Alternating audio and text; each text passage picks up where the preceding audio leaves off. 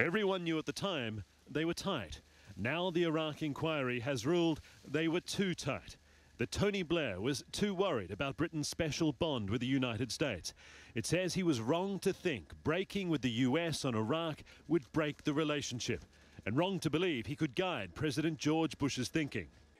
Mr. Blair overestimated his ability to influence US decisions on Iraq. I took the decision after 9 11 we should be America's closest ally. Again, you can disagree with that. I personally think when you're fighting this terrorism in the world today, it would be better if Britain today had a really strong, tight relationship with the United States. The report says Tony Blair often failed to consult widely across his own cabinet of ministers, that too few senior people were aware of big policy decisions. An example, it quotes from a long personal letter Blair wrote to George Bush in July 2002, in which the British Prime Minister told the US President, I will be with you whatever. Senior ministers didn't see it. The report says they should have, and gives other examples too.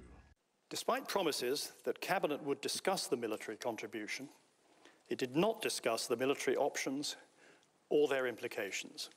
Blair is criticised strongly for not pressing the US on his concerns about managing Iraq after the invasion. It says he knew the significance of the post-conflict phase, but didn't rethink Britain's involvement or make it contingent on having a strong plan ready to go when the fighting stopped. Tony Blair has often said the huge security problems which developed through outside actors trying to tear the country apart couldn't have been predicted. The inquiry disagreed. The risks of internal strife in Iraq, active Iranian pursuit of its interests, regional instability, and Al Qaeda activity in Iraq were each explicitly identified before the invasion. Little surprise, the report found the war was justified using faulty intelligence. Of course, there were no weapons of mass destruction.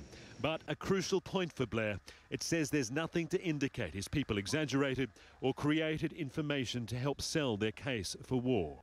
Please stop saying I was lying or... The report says it doesn't question Blair's belief, but it found his assessment of the threat posed by Saddam Hussein went too far ahead of the available intelligence. For that, Valerie O'Neill says she'll never forgive him. Her younger son, Chris, was killed by a roadside bomb in Basra in 2007. He didn't listen to the intelligence. He listened to what he wanted to listen to. No matter what anybody said to him, Tony Blair was going to war with George Bush. The report doesn't say explicitly the decision to invade Iraq was a mistake, but it comes close. Intervention which went badly wrong, with consequences to this day. Tony Blair responded at length, passionately declaring his sorrow and accepting responsibility while insisting he acted for the right reasons and the world is still better off without Saddam Hussein. I mean, I don't regret taking the decision. He's been arguing that difficult and highly unpopular case for more than 13 years. Now the Iraq inquiry's definitive account of a war it says was unnecessary can only damage Blair's determined efforts to resurrect his legacy. Phil Black, CNN, London.